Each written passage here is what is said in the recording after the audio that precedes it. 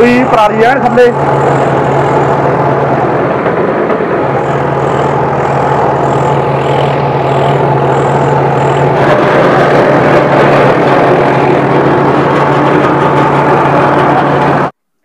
ਸਤਿ ਸ੍ਰੀ ਅਕਾਲ ਜੀ, ਸਵਾਗਤ ਹੈ ਤੁਹਾਡਾ ਆਪਣੇ YouTube ਚੈਨਲ ਰਤਨ ਬਲੌਗਸ ਤੇ।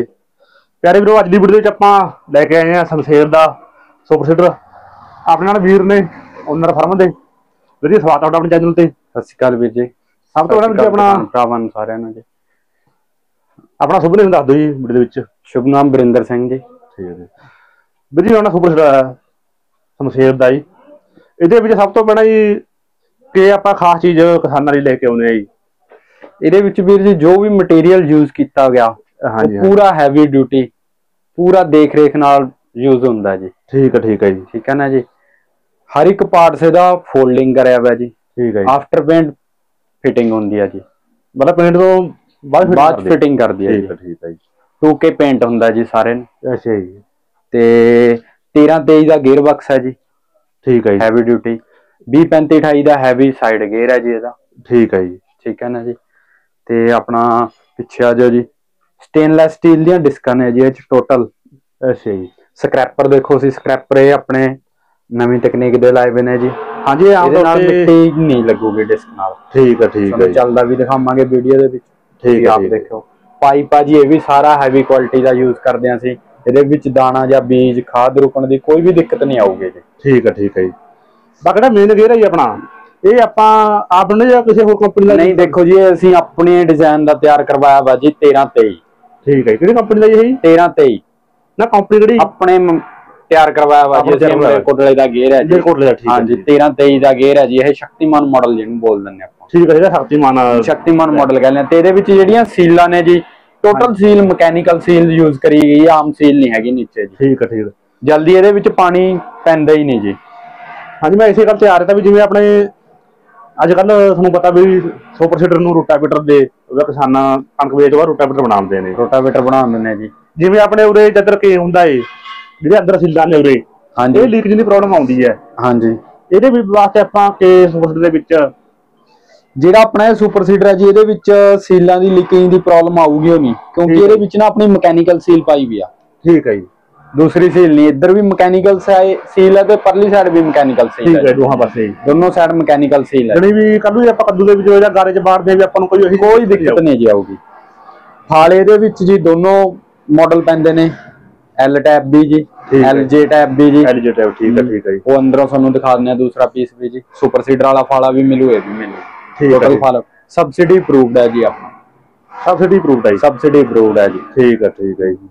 ਇੱਕ ਵਾਰੀ ਮੈਂ ਮੈਂ ਦੇਖ ਰਿਹਾ ਜਿਵੇਂ ਆਪਣੇ ਇੱਧਰ ਆਪਣੇ ਜਿਹੜਾ ਵਾਲਾ ਗੇਅਰ ਇੱਧਰ ਲਾਇਆ ਬਾਈ। ਇਹ ਜ਼ਿਆਦਾਤਰ ਕੰਪਨੀਆਂ ਪਰਲੇ ਪਾਸੇ ਗੇਅਰ ਲਾਉਂਦੀਆਂ ਨੇ। ਦੇਖੋ ਪਰਲੀ ਸਾਈਡ ਵੀਰ ਜੀ ਉਹ ਬੱਟ ਦੇ ਲਵੇ ਰਹਿੰਦਾ। ਹਾਂਜੀ। ਆ ਬੰਨੇ ਚ ਕਈ ਕਿਸੇ ਵੀ ਚੀਜ਼ ਚ ਵੱਜਾ ਲੱਗਣ ਦਾ ਉਹਦਾ ਡਰ ਰਹਿੰਦਾ ਖਤਰਾ। ਠੀਕ ਹੈ ਠੀਕ ਹੈ ਜੀ। ਫਿਰ ਉਹਦੀ ਅਲਾਈਨਮੈਂਟ ਆਊਟ ਹੋ ਜਾਂਦੀ ਆ ਫਿਰ ਦਿੱਕਤ ਆ। ਜਦੋਂ ਰੋਟਾਵੇਟਰ ਬਣਾਉਣਾ ਇਹਦਾ ਫਿਰ ਉਹਦੀ ਸਮੱਸਿਆ। ਇਸ ਕਰਕੇ ਅਸੀਂ ਉਧਰੋਂ ਸਾਰਾ ਕੁਝ ਸਿਸਟਮ ਚੱਕ ਕੇ ਇਧਰਲੀ ਸਾਈਡ ਕਰਿਆ ਜੀ। ਤਾਂ ਕਿ ਇੱਧਰਲੀ ਸਾਈਡ ਲਾਇਆ ਹੋਇਆ। ਇਧਰ ਅੰਦਰਲੀ ਸਾਈਡ ਆ ਜੀ।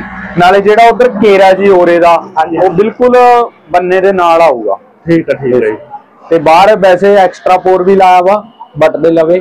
ਹਾਂਜੀ ਹਾਂਜੀ। ਲਾਉਣ ਨੂੰ ਔਰ ਆਏ ਜਮਾ ਨਜ਼ਦੀਕ ਆ ਗਿਆ। ਨਹੀਂ 1.5 ਫੁੱਟ ਜਗ੍ਹਾ ਉਧਰ ਰੱਖਣਾ ਪੈਂਦਾ ਸੁਪਰ ਸੀਡਰ ਆਪਾਂ ਨੂੰ। ਜਦੋਂ ਮੁੜਦੇ ਗੇੜੇ ਆਪਾਂ ਸੁਪਰ ਸੀਡਰ ਲਿਆਉਣਾ ਗੇੜਾ ਚੱਕਰ ਲੱਗ ਗਿਆ।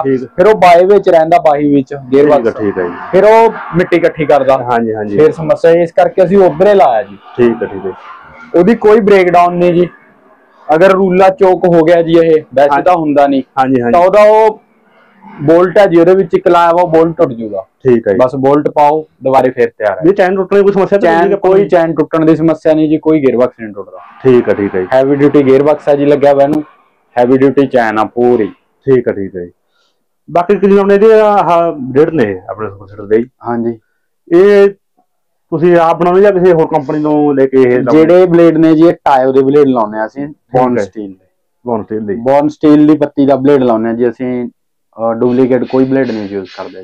ਬੌਨ ਸਟੀਲ ਦਾ ਬਲੇਡ ਹੋਊ ਜੀ। ਸਟੇਨਲੈਸ ਸਟੀਲ ਦੀ ਡਿਸਕ ਹੋਊ। ਤੇ ਇਹਦੇ ਵਿੱਚ ਬੈਰਿੰਗ ਵੀ ਵੱਡੇ ਨੇ 5 ਨੰਬਰ ਆਮ 4 ਨੰਬਰ ਬੈਰਿੰਗ ਨੇ ਜੀ। ਇਹਦੇ ਵਿੱਚ ਪੰਜ number bearing 5 number bearing use ਕਰਿਆ। ਠੀਕ ਇੱਕ ਜਿਵੇਂ ਉਹਨੇ ਬਲੇਡ ਨੇ ਜੀ ਇਹ ਕਿੰਨੇ ਏਕੜ ਤੱਕ ਆਪਣੇ ਕੰਮ ਦੇਖੋ ਇਹ ਏਕੜ ਨੇ ਜੀ ਜ਼ਮੀਨ ਦੇ ਹਿਸਾਬ ਨਾਲ ਨੇ। ਕੋਈ। ਜ਼ਮੀਨ ਰੇਸ ਲਈ ਆ ਉਹ ਤੇ ਘੱਟ ਏਕੜ ਚੱਲਦੀ ਆ। ਜੋ ਡਾਕਰ ਹੈ ਉਹ ਤੇ ਜ਼ਿਆਦਾ ਚਲੀ ਜਾਂਦੀ ਹੈ ਰੇਸ ਦੀ ਜ਼ਮੀਨ ਚ ਤਾਂ ਮੰਨ ਲਓ 125 150 ਕਿੱਲਾ। ਠੀਕ ਹੈ ਠੀਕ ਹੈ ਜੀ। ਡਾਕਰ ਜ਼ਮੀਨ ਆ ਗਈ 150 ਪਲੱਸ ਹੋ ਜਾਂਦੇ ਨੇ ਸੁਪਰ ਸੀਡਰ ਵਾਲੇ। ਜਿਹੜੇ ਇਹ ਬਲੇਡ ਨੇ ਜੀ ਇਹ 200 ਪਲੱਸ ਕਰ ਦਿੰਦੇ ਨੇ। ਠੀਕ ਹੈ ਠੀਕ ਹੈ ਜੀ।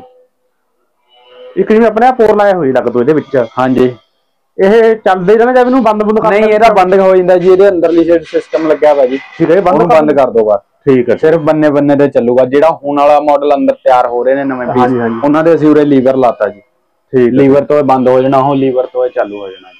ਠੀਕ ਹੈ ਠੀਕ ਹੈ ਜੀ। ਬਾਕੀ ਲੇਜ਼ਰ ਲੇਜ਼ਰ ਕਟਿੰਗ ਦੇ ਵਿੱਚ ਮੇਰੇ ਟੋਟਲ ਲੇਜ਼ਰ ਕਟਿੰਗ ਕਰਦੇ ਆ ਜੀ ਦੂਸਰੀ ਨਹੀਂ ਲਾਉਂਦੇ ਅਸੀਂ ਲੇਜ਼ਰ ਕਟਿੰਗ ਆ ਸਾਰੀ ਟੋਟਲ ਲੇਜ਼ਰ ਕਟਿੰਗ ਜੀ। ਠੀਕ ਹੈ ਠੀਕ ਹੈ ਜੀ। ਬਾਡੀ ਆ ਸਾਰੀ ਉਹ ਵੀ ਹੈਵੀ ਡਿਊਟੀ ਬਾਹਰ ਤੋਂ ਮਟੀਰੀਅਲ ਅਸੀਂ ਕੁਝ ਨਹੀਂ ਜੀ ਲੈਂਦੇ ਸਿਰਫ ਉਹੀ ਲੈਂਦੇ ਆ ਐਕਸਲ ਗਰਾਰੀਆਂ ਵਗੈਰਾ। ਠੀਕ ਹੈ ਜੀ। ਟੋਟਲ ਅਸੀਂ ਸੀਟ ਡਰਿਲ ਵੀ ਬਾਡੀ ਵੀ ਜੀ ਰੂਲੇ ਸਭ ਇਹ ਡਰਿਲ ਜਿਹੜੀ ਇਹ ਲੱਗੀ ਵੀ ਹੈ ਇਹ ਆਪਣੀ ਆਪ ਬਣਾਈ ਵੀ ਹੈ? ਆਪਣੀ ਖੁਦ ਅੰਦਰ ਬਣਾ ਰਹੇ ਹਾਂ ਜੀ ਅਸੀਂ। ਠੀਕ ਹੈ, ਹੈ। ਡਰਿਲ ਵੀ ਸਾਰੀ ਕੁਝ ਅੰਦਰ ਬਣਾਉਂਦੇ ਆ ਜੀ। ਜਿਵੇਂ ਆਪਣੇ ਮੈਂ ਦੇਖਦਾ ਵੀ ਕਈ ਵਾਰ ਡਰਿਲ ਦੇ ਵਿੱਚ ਡਰਿਲ ਦੇਖੋ ਇਹ ਸਭ ਡਰਿਲਾਂ ਨਾਲੋਂ ਹੈਵੀ ਡਰਿਲ ਹੋਊਗੀ। ਹਾਂਜੀ ਹਾਂਜੀ।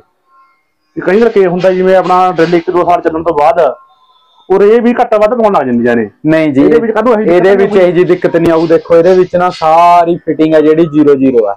ਇਹਦੇ ਹੈ ਨਾਲ ਇਹਦੇ ਵਿੱਚ ਬੈਰਿੰਗ ਨੇ ਉਰੇ ਜੀ। ਠੀਕ ਹੈ ਠੀਕ ਤੇ ਹੈ। ਜਿਹੜੇ ਇਹਦੀ ਪਿਚ ਗੇਜ ਆ ਹਾਂਜੀ ਹਾਂਜੀ। ਪਿਚ ਗੇਜ ਦੇਖੋ ਜੀ ਇਹਦੇ ਨੰਬਰਿੰਗ ਦੀ ਆ। ਇਹਨੂੰ ਜਿੰਨਾ ਮਰਜ਼ੀ ਵਧਾਓ ਤੁਸੀਂ ਘਟਾਓ। ਠੀਕ ਹੈ ਠੀਕ ਹੈ ਜੀ।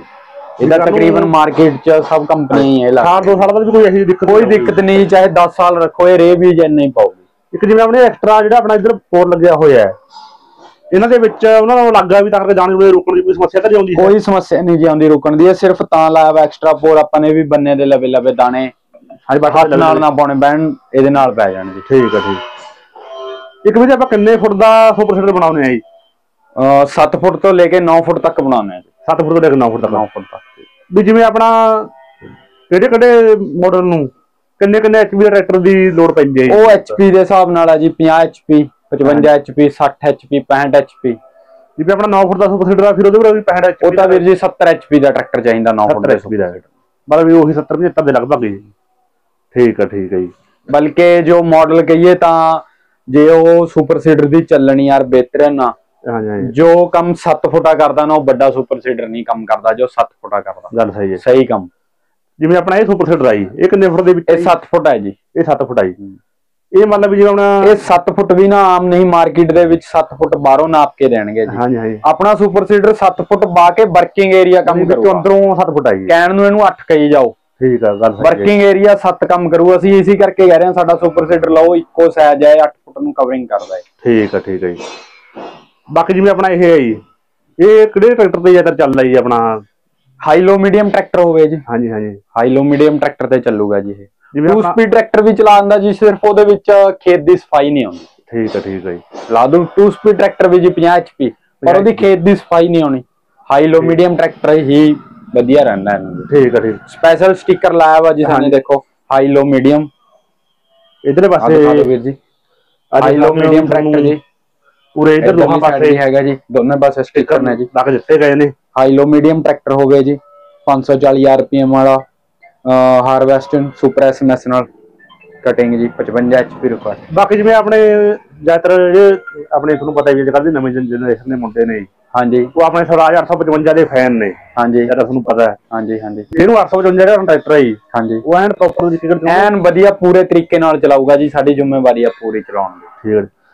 ਸਰਵਿਸ ਫੀਲਡ ਮਿਲੂਗੀ ਜੀ ਤੁਹਾਨੂੰ ਫੀਲਡ 'ਚ ਸਰਵਿਸ ਮਿਲੂਗੀ ਹਾਂਜੀ ਮੈਂ ਇਸੇ ਗੱਲ ਤੇ ਆ ਰਿਹਾ ਤਾਂ ਵੀ ਜਿਵੇਂ ਕੱਲ ਨੂੰ ਆਪਣੇ ਸੁਪਰਸਟ ਦੇ ਵਿੱਚ ਦਿੱਕਤ ਆਉਂਦੀ ਆ ਕੋਈ ਤਾਂ ਉਹਦੇ ਵਾਸਤੇ ਵੀ ਆਪਣੀਆਂ ਸਰਵਿਸ ਫੀਲਡ ਦੇ ਵਿੱਚ। ਸਰਵਿਸ ਫੀਲਡ 'ਚ ਮਿਲੂਗੀ ਜੀ ਜ਼ਿਮੀਦਾਰ ਉੱਥੇ ਵੈਸੇ ਤਾਂ ਸਾਡੇ ਸੁਪਰ ਸੁਪਰ ਸੀਡਰ 'ਚ ਕੋਈ ਦਿੱਕਤ ਆਉਂਦੀ ਹੋ ਨਹੀਂ ਅਗਰ ਕੋਈ ਦਿੱਕਤ ਆ ਵੀ ਜਾਵੇ ਤਾਂ ਫੀਲਡ 'ਚ ਸਰਵਿਸ ਮਿਲੂਗੀ। ਤਾਂ ਮਤਲਬ ਮੌਕੇ ਤੇ ਜਾ ਕੇ ਖੇਤ ਦੇ ਵਿੱਚ ਜਾ ਕੇ repair ਮੌਕੇ ਖੇਜ ਕੋਈ ਹਾਂ ਬੜੀ ਉਹ ਸਮੱਸਿਆ ਹੈ ਉਹਦੇ ਵਾਸਤੇ ਸਾਨੂੰ ਉਰੇ ਲਿਆਉਣਾ ਪੈ ਸਕਦਾ ਪਰ ਉਹਦਾ ਵੀ ਖਰਚਾ ਸਾਡਾ ਹੈ ਜੀ। ਠੀਕ ਹੈ ਉਹਦਾ ਖਰਚਾ ਕੋਈ ਦਿੱਕਤ ਨਹੀਂ ਜੀ। ਠੀਕ ਹੈ ਠੀਕ ਹੈ। ਉਹਦੀ ਕੋਈ ਦਿੱਕਤ ਨਹੀਂ। ਫਿਰ ਜਿਵੇਂ ਵੀ ਜੀ ਆਪਣਾ ਸੁਪਰ ਸੀਡਰ ਆਈਏ।